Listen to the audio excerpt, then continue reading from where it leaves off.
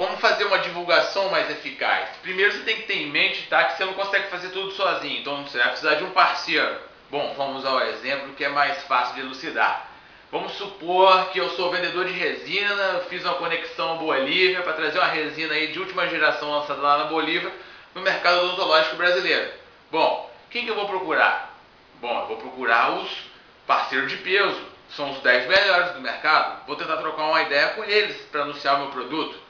Bom, antes de eu encher o saco deles, aliás, de milhões enviando e-mail, porque tem milhões de empresas aí que comercializam produtos odontológicos, o que, que eu vou fazer? Bom, descobrir quem são os 10 maiores. E como é que eu vou descobrir?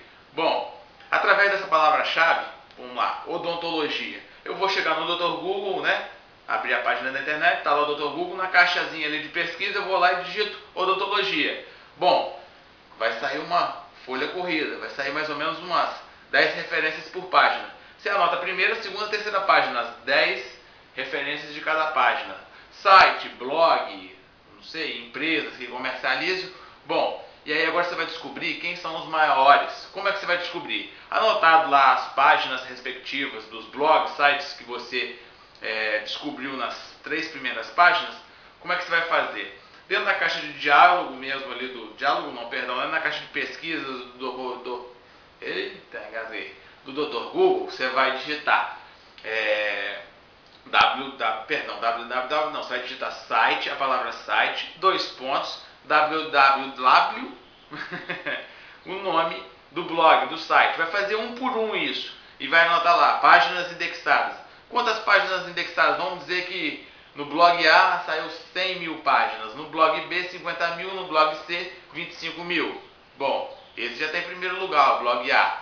Aí, segunda etapa, no Dr. Google mesmo. Isso você vai fazer de cada um tá, dos blogs, sites que você pesquisar, que vão, são os possíveis parceiros seus. Você vai digitar link, tá? Dois pontos, www e o nome do blog, site. Aí vai sair lá, é, páginas referenciadas. Bom, ou seja, são sites que referenciaram o blog, o site, quantas?